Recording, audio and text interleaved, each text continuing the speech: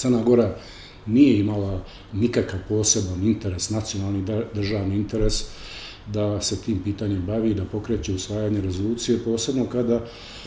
to pitanje nije otvorila Republika Srbije u svom parlamentu, koja bi u nekom smislu imala ovaj, i ima puno više razloga i motiva da se upusti da se upusti u taj proces, ali nije ušla u taj proces i zaista je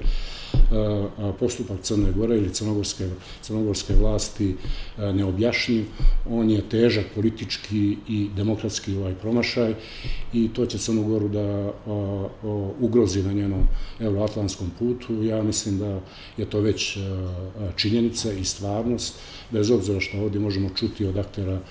vlasti. Crna Gora je ozbiljno upozorena e, otkazom e, posjete predsjednika Evropskog savjeta, koji je trebao biti u Crnoj Gori tri dana, koji je po diplomatskim pravilima pozvao predsjednika države u Brisel. To dovoljno govori kako Evropska unija gleda na Crnu Goru i na sam taj postupak, a juče smo vidjeli u Hrvatskoj i u samom parlamentu Hrvatske da zaista Hrvatska je povrijeđena i zatečena jednim takvim aktom Crne Gore.